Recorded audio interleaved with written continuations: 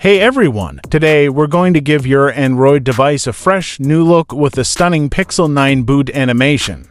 Yes, you heard it right. You can now enjoy this sleek animation on any rooted Android phone. So, without further ado, let's dive in. Before we start, make sure you have the following. A rooted Android phone, a computer optional for downloading the boot animation file. Magisk or kernel SU installed on your phone. The Pixel 9 boot animation file. Link is in the video description. Let's grab the Pixel 9 boot animation file first. You can find the download link in the video description. Click on the link and it will start downloading. Once downloaded, transfer it to your phone's storage. Now, open the Magisk or Kernel SU app on your phone.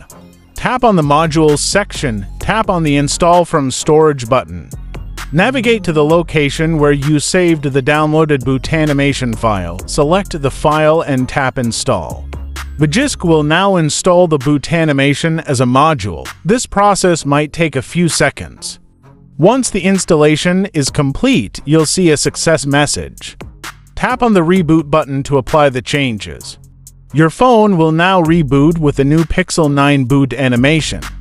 This method works only on ROMs that use the system bin boot animation to trigger the animation, and there you have it.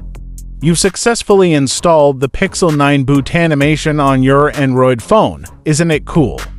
Let me know in the comments if you have any questions or if you want to see more tutorials like this. Don't forget to like, share, and subscribe for more awesome content.